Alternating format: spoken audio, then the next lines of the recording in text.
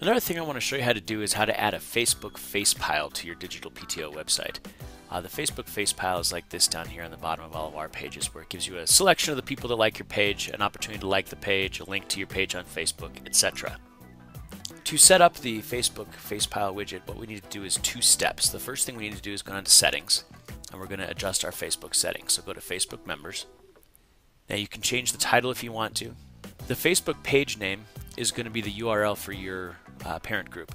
To find that URL, what you're going to want to do is go to your Facebook page, and then after www.facebook.com slash, everything after the slash, copy that and paste it in. Now with the Graphene 2.0 theme, the best width is going to be 230. You can leave this at 200 if you want, but 230 will make it fit all the way across, although it's still only going to show uh, three people across, I believe is what it is. Uh, then we'll hit Update Options. Once that's been updated, we're going to go to Appearance, and then to Widgets.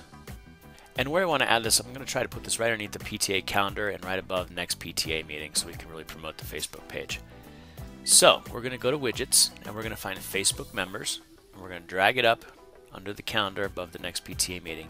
You'll see there's no settings in here. All those settings are in that page we were just on before with Facebook members. So click Save. And now let's go back here and refresh. And now we have our Facebook face pile with three people across, two people down. If you'd like to have three rows down, change it to, let me go back here real quick actually and I'll show you Facebook members. And then we'll change this to 350 update. Basically you add 25 or 75 per row. And if we refresh this you'll see we have three rows now of fans so that is how you add a Facebook facepile to your digital PTO website